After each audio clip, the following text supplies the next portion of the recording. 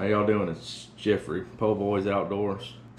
Want to do a count, show what we made for Shriners Hospitals for Children.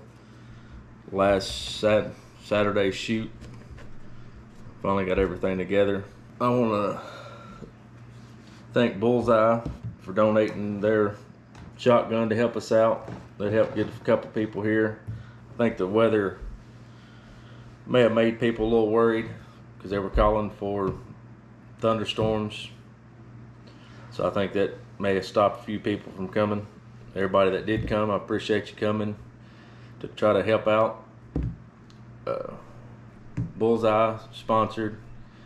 Uh, my son Justin, he donated the second place prizes for everybody. Uh, then a couple other people sponsored or put in some stuff for some raffles. Scott, he threw in some ammo to try to help out on the raffle. But we got the money laid out here. All together, we got eight hundred and seventy dollars. And I have my plan money, so that'll make it even nine hundred that we're gonna send to Shriners Hospital for Children. Uh, appreciate everybody that come. Today's Sunday, the 18th. Uh, Denise will probably go tomorrow, get a cashier's check, and get that sent out to the Shriners.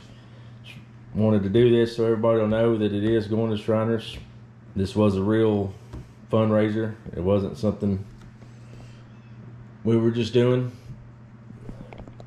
I appreciate everybody that come. Y'all have a good one. Po boy out.